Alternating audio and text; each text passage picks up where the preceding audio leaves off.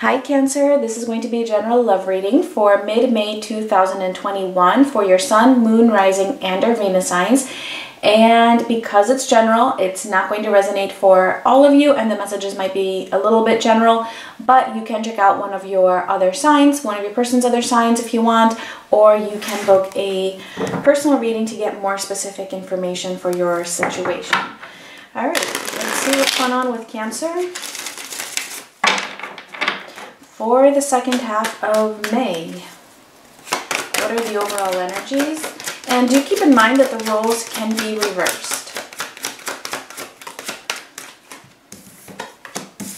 Ooh, oh, ooh, okay, wow. We have Bound and we have Twin Flame. Okay, so this is just representative of a very strong, very powerful connection. It could be a divine soulmate, all right? Don't get stuck on the labels. Um, it's just talking about the strength and the intensity of a connection and how many lessons there are to learn um, from this particular relationship, okay? So this just means that, yes, there is a lot that you are learning from this connection and the connection feels very powerful.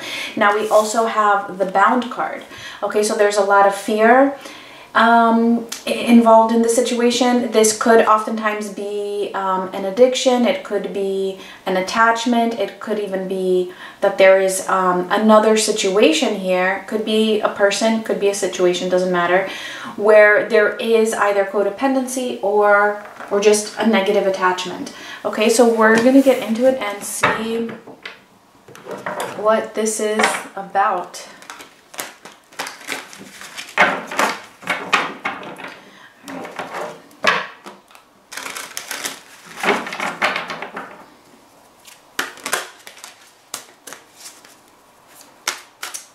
So Cancer, Sun, Moon, Rising, and Venus for mid-May. What are the energies? All right, let's see. For you, we have, ooh, starting off with the Tower. Okay, Death. Ooh, and the Nine of Cups. All right, so it feels like, you know, there is a situation, obviously this connection that feels that powerful, something that you really, really wanted, something you were really, really wishing for, feeling like it could completely fulfill you. And at the moment, I feel like you are going through a major um, breakthrough or a major crisis, which is leading you to feel like this is done. Let's see for them. We are going to clarify, of course. It's the Three of Swords, the Knight of Wands, and the Empress. All right, so this person is feeling a lot of pain at the moment, a lot of heartbreak, and it could be because you're feeling like this is over. There's this tower that's happening, which means that, you know, the whole situation just feels like it is being destroyed, it is being crumbled, like it's just done. Um, this is causing a lot of pain as well as a lot of um, frustration in the other person here who also does hold you in a very high regard. All right, this person feels like you are their person, you are their empress. And I find it very interesting that we have the empress right under the nine of cups, showing how much you want this, how you felt about this. I mean, even if you feel like you don't want it now, well, there was a point in time when you did. And it's being also reflected on their end as well. Let's see what is coming up. We have the Seven of Wands, the Fool, and the Hermit. Okay, so I do see a little bit of resistance here with the Seven of Wands. um, possibly a little bit of defensiveness, maybe just from the other person's side, maybe just from your side, maybe on both ends. But I do also see this leading up to some kind of taking a risk maybe or just really trying to see things in a different way and take a new path when it comes to the situation. But with the hermit being here, I still see a little bit of distance possibly between the two of you, just for now, okay? This is, this is just for the second half of May, um, give or take a little bit. So for a final message here, we have the Queen of Swords, which does talk about, it does talk about clarity and it also talks about detachment, which is actually a good thing because like I said, that bound card can talk about a negative attachment. And then we have the Queen of Swords here as the final message saying, you know, detaching a little bit, withdrawing a little bit might actually serve a higher purpose in this connection. So let's clarify. Let's clarify that tower in your energy.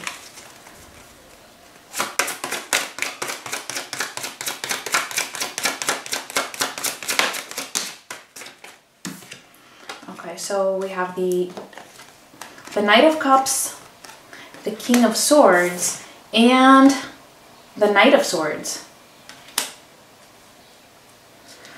All right, Cancer, what is going on here? I feel like you you are the you are really feeling the intensity of this ending. Um, I feel like you are very very determined at the moment to really move forward. It almost feels like you are rushing the process a little bit. Again, this has to do with the fact that this other person here, or you maybe even, okay, depending, again, roles can be reversed, that somebody here did not, was not able to offer this love um, to the other person for whatever reason. And because of that, I feel like you are really feeling the intensity of this ending um, because it was something that you really wanted, because there was such a powerful connection between the two of you. And you are very determined to just really, you know, make a change here, to really just be like, I am done. I need to move away from whatever it is here that is creating so much drama in my life. Let's see death.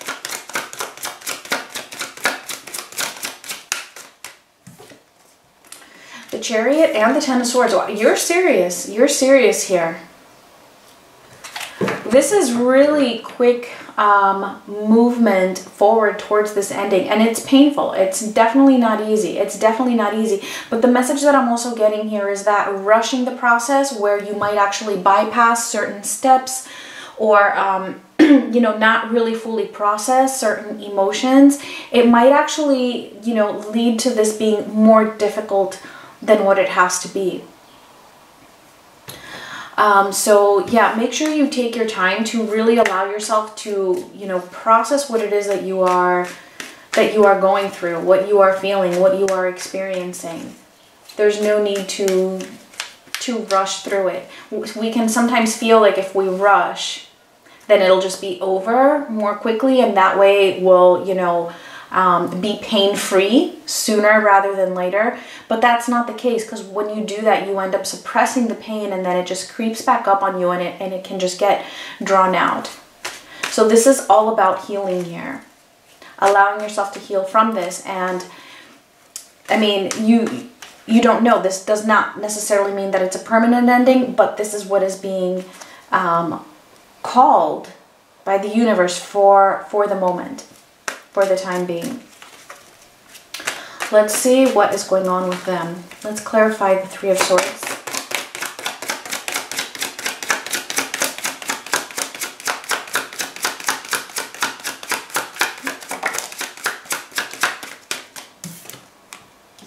All right, the Magician and the Ten of Wands. All right, so I feel like this is somebody who has really been manifesting a very difficult situation for their own self. I mean, and this is usually the case for most of us and for many, many situations, but not always, okay? Um, but in this particular case, this person I feel has been doing something that just creates this pain over and over and over and over and over again and keeps them in this state where it's just so hard for them to release some kind of there's an energy here that needs to be released. Something needs to be let go of, which is something that is completely under their own control, is what I'm trying to say. You know, like for example, sometimes, you know, there are situations that really do not depend on us. All right, they are, you know, that other people are doing it, doing certain things that we have no control over. We always have control over our own reactions, of course, but we don't always have control over a situation and what happens in that situation that we are involved in. So what I'm trying to say is that this person does have control, but the way they've been going about it is um is where they just keep I feel like it's like a repeating energy here. And causing causing themselves to feel this pain when really that there's just a responsibility that they feel they have that they don't have that they can actually release or some kind of a burden. See the Knight of Wands. It's early in the morning for me, which is why I feel like I might be having a little bit of a hard time um, expressing expressing the messages here a little bit. All right, so we have Temperance and the Knight of Wands again. So that's two times the Knight of Wands. Yeah, I feel like this person is being overly dramatic. They're seeing the situation as something that is a lot more difficult, or they're seeing this challenge as something a lot more difficult than what it is. But there's a reason for that anyway. Okay, this is something that they need to work through. This is something that they have to discover for their for their own selves. They're having a hard time finding that balance and understanding that hey, you know, I don't need things don't need to be so extreme. They don't need to be so dramatic. I don't need to be so frustrated. I don't need to be getting so angry. And I feel like they're mostly getting angry with their own self. And it's all about finding that that happy medium where yeah you know things are not perfect but things are not as as bad or as difficult as i think they are either and i feel like once they reach that understanding and that level of balance they will be able to take some action in order to release that that ten of wands let's clarify the empress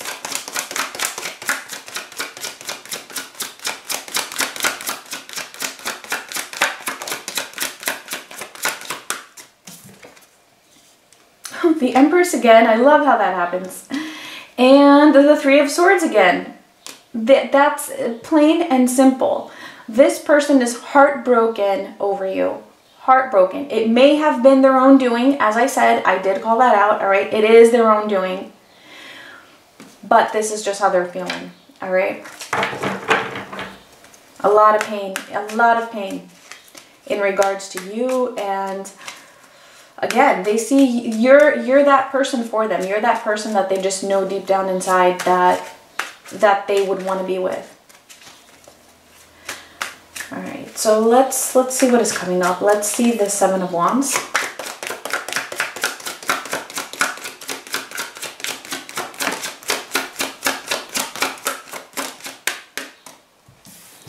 the nine of cups and the page of pentacles yeah so there is a little bit of um resistance here when it comes to what it is that the that the both of you want. I feel like this is actually for the both of you. I feel like you both um, have a wish for this to work out in the end. You both have a wish for each other, but you're each protecting yourselves for different reasons. And this is something that again, I feel like these triggers, these um, obstacles, these challenges that you're both going through, they are meant to help you get on your right path. They help to put you on a new path where you will eventually be more balanced, more grounded, and that's going to come from, you know, learning through this experience. So allow yourself to learn. Allow yourself to see what the lesson in this might be. What are you learning about yourself?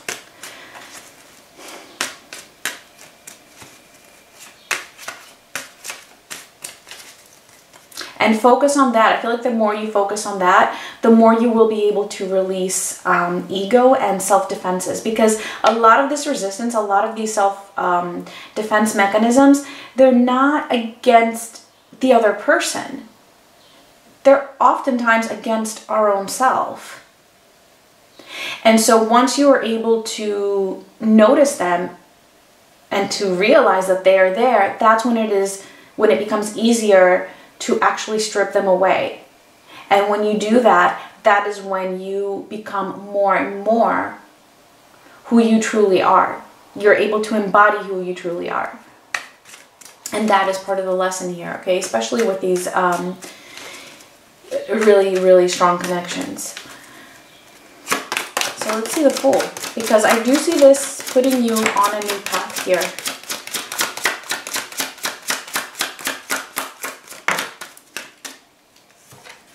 Three of Pentacles and the Ace of Swords. Yeah, so this is actually, I feel, once you are able to do what I just said, um, at least be able to notice, okay, the self-defense mechanisms within your own self, that is automatically pushing you onto this new path where it's like the two of you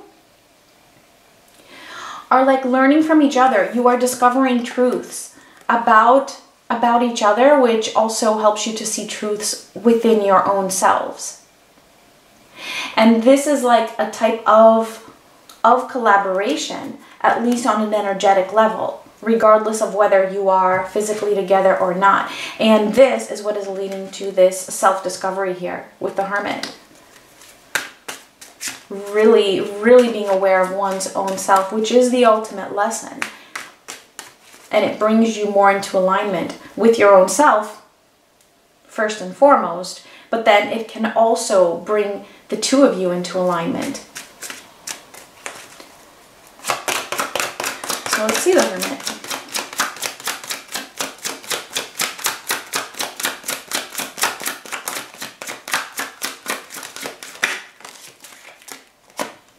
All right, the Two of Swords and the Five of Cups.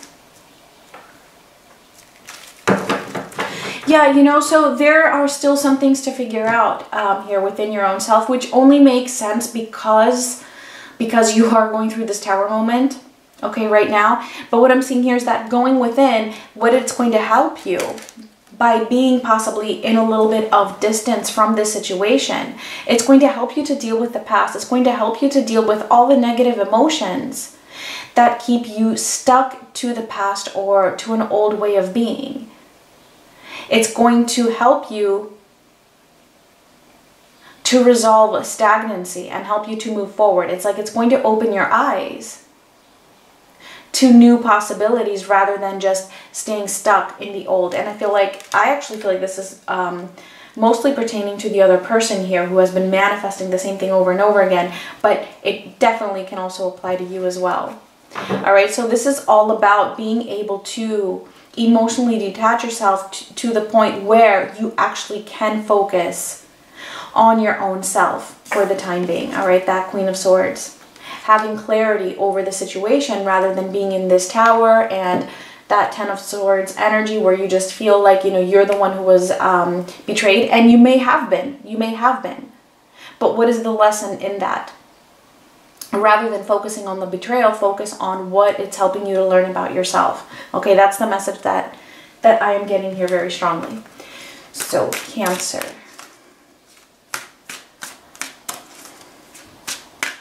If this resonated, let's get your final message.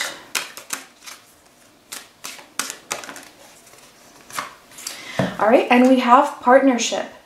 Teamwork will give you a better result. Find trustworthy people to partner with. Build a talented support team. Okay, so this is all about that partnership. This is all about what I was talking about down here.